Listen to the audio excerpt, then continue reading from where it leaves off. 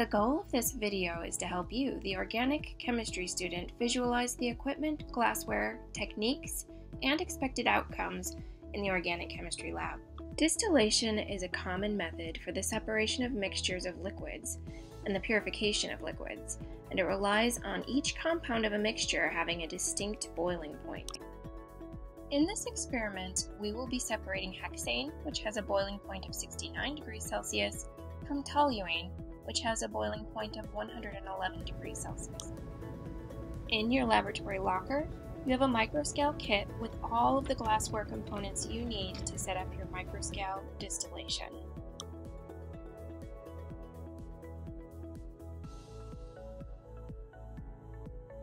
Begin your fractional distillation setup by attaching your water-jacketed condenser to your Hickman still.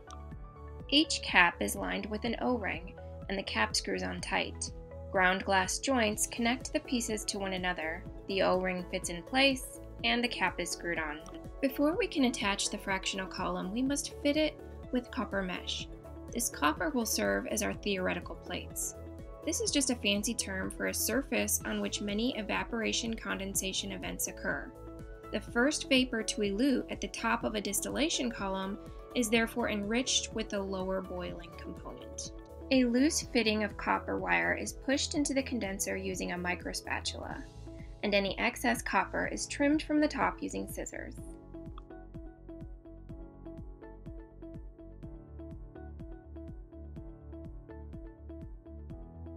Pack the air condenser loosely with copper mesh when you make the fractionating column. If the packing is too dense, the distillation will take an unnecessarily long time. Attach the copper-filled air condenser to the Hickman still. The round bottom flask, which will contain your sample, is attached at the bottom.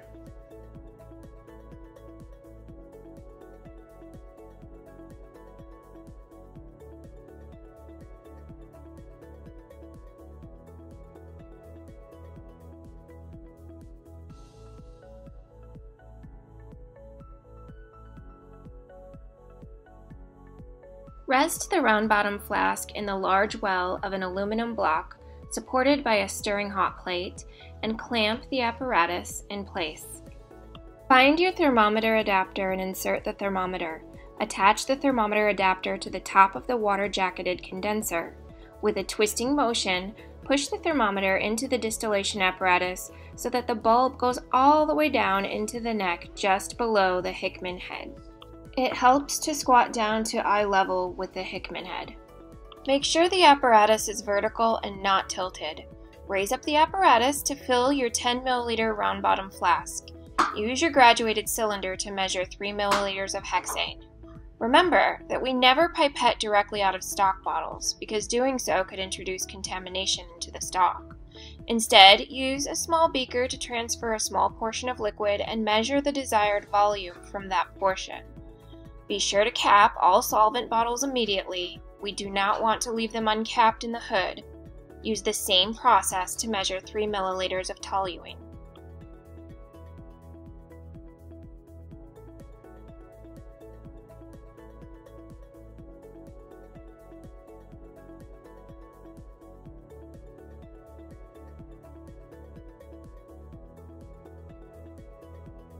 Add the solvent mixture to your round bottom flask along with a couple of boiling chips.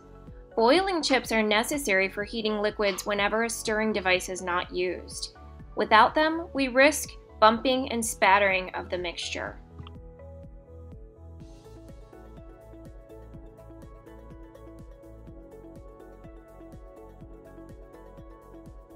Once the sample is in your 10 milliliter round bottom flask, you may attach it and lower the apparatus back into the aluminum block.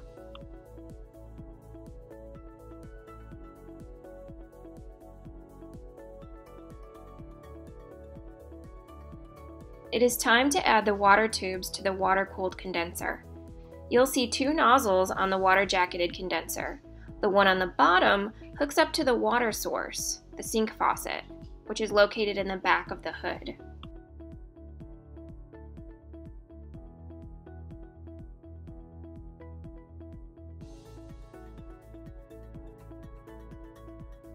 After connecting that tube, grab another water tube for the top nozzle. Water will flow out of this tube into the drain, also located in the back of the hood.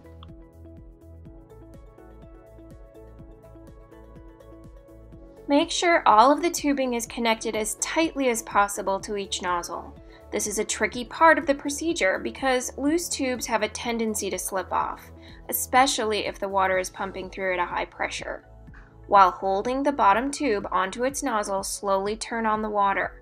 Adjust the flow to a very light and steady rate. Turn the heat to a setting of 4 or 5 on the dial.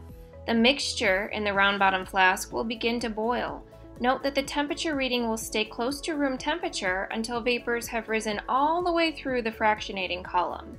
The Hickman head holds a little over 1 milliliter of distillate. Once about 0.5 mils or half a mil of distillate has collected in the Hickman head, record the temperature in your notebook, uncap the side port of the Hickman head, and quickly transfer the contents of the reservoir with a pipette to a labeled vial.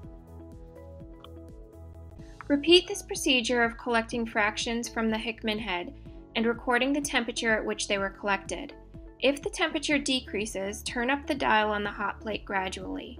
Continue collecting fractions in this manner until very little liquid remains in the round bottom flask, but do not distill to complete dryness.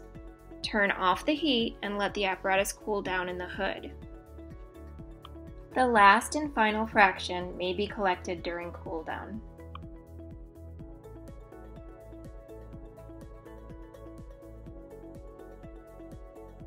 To disassemble the apparatus, make sure it is cool to touch.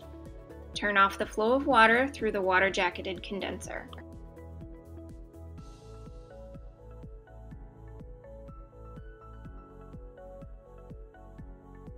You'll know when the water has stopped because it will cease to flow out of the drain tube.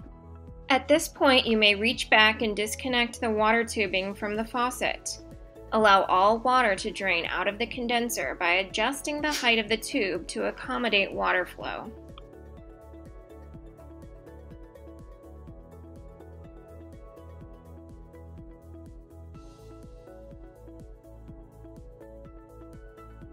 Take out the thermometer and safely store it in your locker.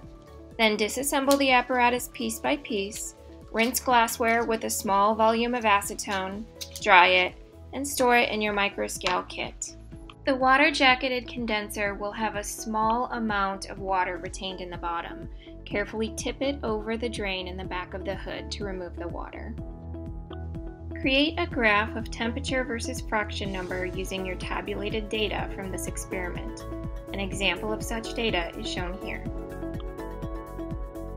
In our next video, I will share the gas chromatography results of fractions 1, 2, 7, 9, and 10 of this analysis.